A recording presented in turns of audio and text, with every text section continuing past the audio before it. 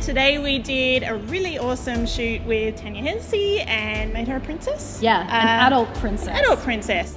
This was a little bit crazy and we had a huge amount of fun. Basically, it came about when Tanya posted that she wanted to be a princess. I just have always wanted to do it. I love the idea of being a princess.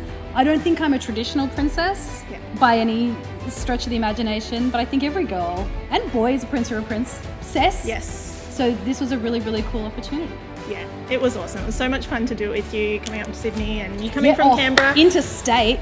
Karen is a profesh. Like she knows what to do. She knows how to do everything and put everything together and she's really creative. Her mind is extraordinary. She's I've never met anyone like you actually. I've never seen anyone be able to create what you create. It's it's such a, an amazing storytelling method and i think what you do is amazing. People who can't walk you make this fantasy of them being able to walk and people who have been through injury and accident you're able to to make this fantasy for them that, that they may or may not be able to ever experience. And it's incredibly powerful and i think you're exceptional.